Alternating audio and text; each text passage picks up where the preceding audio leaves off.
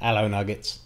I haven't made a blog for a few days um, because, uh, well, frankly, I've been depressed. it's this circumcision. Um, it's weird. There's definitely some psychological issues going on as well. You know, um, apart from the fact that every time I look in the mirror, I'm looking at, you know, scar tissue and stitches and angry, swollen thing. Like, honestly, that's just disturbing to look at because I got so used to, you know, when I curse when I gave it a cursory glance before, it was, you know, it was looked like it looked. Um, so just the look of it is kind of weird to me, but um, I'm regretting doing it. To be honest with you, I mean, I know it's only um, what is it, six days? Was it Thursday? I got it done. What day are we now? Hang on, a week. I got it done a week ago today. Um, and I, I know that's early days, and I've been reading a lot of online forums about it, and people saying it was a nightmare for a while, but then they look back on it and say, you know, I'm glad I did it. But then there's a lot of people who look back and go, no, I'm not glad I did it. You know, um, not not for the effect on the sex life. I'm not I'm not really so worried about that because I think it'll be fine. I mean, it's crazy sensitive right now, so I think it's going to be fine. Just more about just changing a part of myself which I was comfortable with. You know, I didn't really have many options because of the phimosis. I mean, you know, there's they can try creams, but the doctor said they don't really work. To be honest with you, um, and I haven't found anything online that says they do work. There's this other thing where they kind of cut it a little bit um, that sounded like it looked really ugly. Um, so I went for the circumcision. I think I'd have taken number two, actually, because then you still have the foreskin that still protects the, the penis, and there's just this basically one scar on it where you look at it and you know it looks a little different. But I think I'd have done that because this is unbearable. I'm so lucky I work from home because there's no way I could go to work. I can't walk. I can't. I'm hobbling everywhere. I walk at like a snail's pace, you know, and and everything I do is like so is about the circumcision now. Everything I do, you know, if I have to go to the bathroom, if I have to go for a pee, I'm like, okay, let's go do this thing. And it's all very cautious and just pulling up my shorts, like, oh, ah, you know, and it's, it's just frustrating as hell.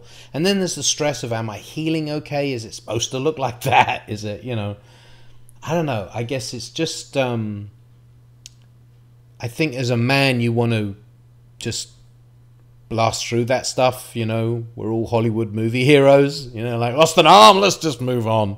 And it is, I guess, in that context, it's just nothing. It's just circumcision. But you know, uh, yeah, it's got psychological effect. I'm depressed about it. Not gonna lie. I think a lot of it is also to do with the fact that I feel so helpless.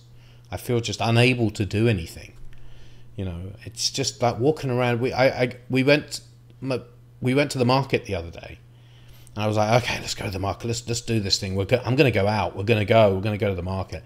So I'm hobbling around the market, leaning on the uh, shopping cart, and and it just made me miserable. I'm, I'm having to say to Laura, I'm like, hey, will you take the stuff in? I, you know, because I can lift stuff. It's not like I'm I'm, you know, I've got a broken back, but any altering in my movement can send a jolt of pain. You know, you know, sleeping is a nightmare. I haven't been sleeping you know, I got three hours sleep the night before, so I thought last night I'd sleep. I was up till four in the morning, and it's because just anything touches it, I wake up. You know, and of course you're in bed. Of course things touch it. And we have two dogs as well, which is just also stressful. Two little dogs, so they're always like wanting to jump up. So anyway, I want to do a check in and say that right now, yeah, just I could cry. Just miserable feeling. Really don't want to do it. So I didn't write for two days, or rather, I didn't write yesterday. I just couldn't. I was in such pain yesterday. The pain came back. That's the other thing. It got worse yesterday, like way worse than it's been before, um, which freaked me out. So I sent a, a text to the doctor, um, or I sent a message to the doctor. He hasn't replied yet. I'm gonna have to follow up on that. It's a little better today.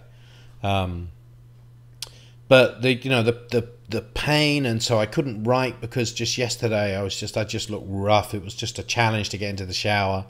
Um, but um, I wrote a before the day before because I forced myself to do it. Then I had that really bad day yesterday, and then today I was feeling really terrible when I woke up, but I forced myself to do a couple of hours. So um, yeah, just not making good decisions while I'm in it as well. I think also, you know, here's the point of the log. I didn't know this, but now I do. You know that saying about how true character is shown under duress? I'm hacking that, but you know what I mean, right? The idea that your real character isn't your day to day, because that's easy. It's what about when you're under pressure? It's what about when you're in a difficult situation? What do you show yourself then? I think I'm also depressed because I'm an absolute nightmare when I'm like this. I'm useless, you know. I'm I'm not a good husband. Um, I'm I'm whiny and moany, and um, I'm moody. I'm really moody. Like I, I'm easy to start an argument with, and I don't do my job, and I can't put it to one side and get on with my life and just say like, okay, you're in pain. And there are people out there who live with pain every day of their lives. It's been a week, and it's not excruciating pain. It's not. It's not like the worst feeling I've ever had in my life. It's just just constant. It's just constant pain. Like right now, it hurts. You know, it's only a four. It's not heavy, but I'm just not good. And so my character I've been, has been revealed to myself that it's not very good in this situation, and that depresses me.